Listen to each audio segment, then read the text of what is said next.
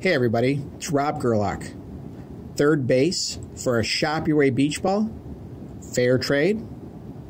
As you may know, I've been a proud member of the SHC team for many, many years. I'm also a proud member of the United States Army Reserve. On August 1st, I had the privilege and honor of carrying the American flag on Wrigley Field for the national anthem. There I am with my kids getting ready.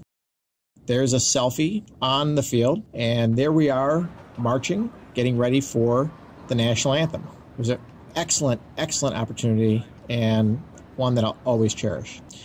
There's a shot with my Shop Your beach ball with the family, and this Shop Your beach ball I thought would be great to let loose into the crowd and bounce it around.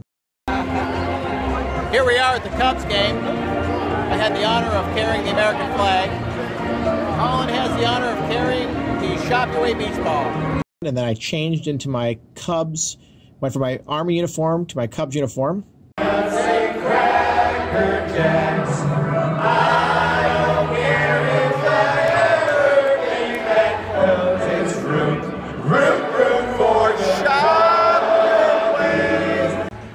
We then let the beach ball go, and it's getting bounced around.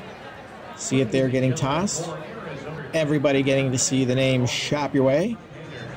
De La Rosa. The pitcher gets scored. First baseman, Anthony Rizzo.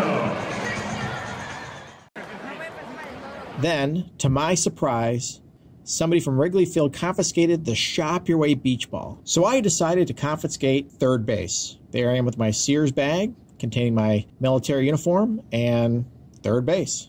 And there it sits on my desk, third base from Wrigley Field, and I'm perfectly willing to give it back when I get my Shop Your Way beach ball. Go Cubs, go shop your way.